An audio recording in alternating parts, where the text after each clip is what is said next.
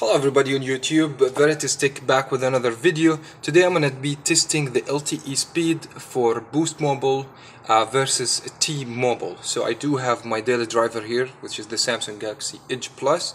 I do have T-Mobile on this device.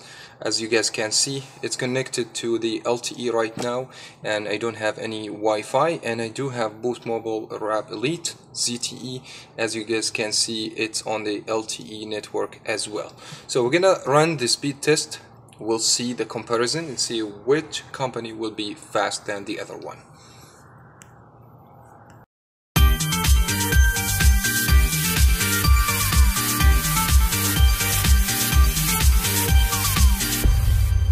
Now we're gonna go ahead and just open the application and we're gonna try to run them at the same time. Just let me tell you something guys.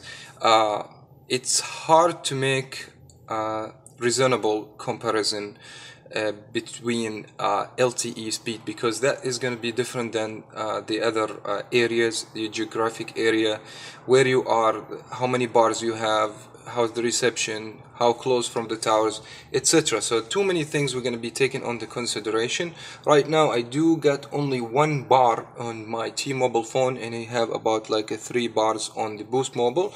But let's gonna see which one gonna be faster as everybody knows like sprint on uh, boost mobile and they're technically uh, using the umax cdma for the lte and t-mobile is t-mobile they have their own towers and boost they're using the cdma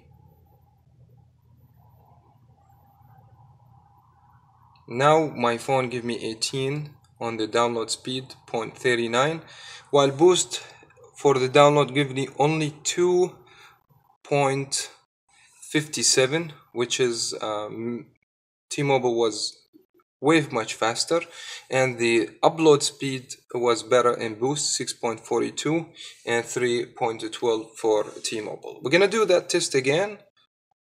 I'm inside the room so that will affect also the LTE also too many things to be taken into consideration that uh, where you are inside the room outside the room the traffic on the spectrum as well it should be, be taken into consideration but this at least will give us uh, idea about which company should be faster for the LTE I'm not talking about coverage area right now.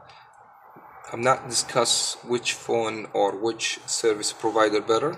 But right now we just want to see the result for the second time 22 with uh, T-Mobile and 8 so improved a little bit. So let's gonna do that for the third time and see if it's any better.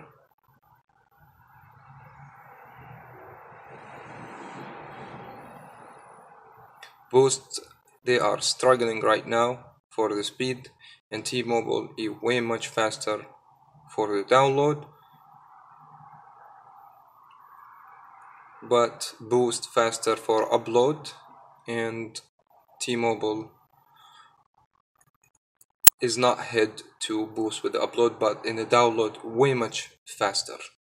That was very much it for now. I wish you guys enjoy. Find that video helpful. Subscribe for more. Thank you so much for watching. As always i'll see you in my next one